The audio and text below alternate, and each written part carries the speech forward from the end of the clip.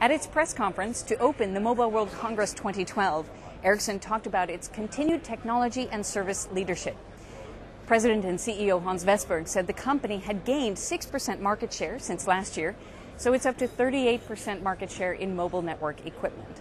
He talked about the network society and the three driving forces of mobility, broadband, and the cloud, and said that the magic really starts to happen when you combine all three forces. As an example of the combination of the three forces coming together, Vestberg presented an agreement with Western Union, the world's largest financial services company. Our goal with Ericsson is really quite simple. What we're really looking to do is actually be able to provide more financial inclusion at a more accelerated rate.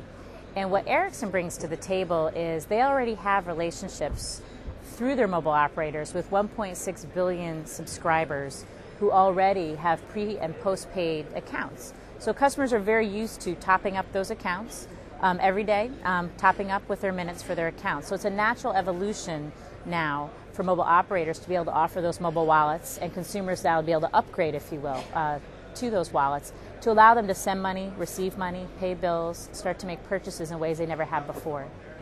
Vestberg showed some of the new products and services being launched here at Mobile World Congress and then summed up by looking ahead into 2012. Innovation, collaboration, and change of business models is clear when it comes to this world right now. We're going to see focus on growth and efficiency from our customers, very much focus on OSS, BSS in order to do a consumer experience.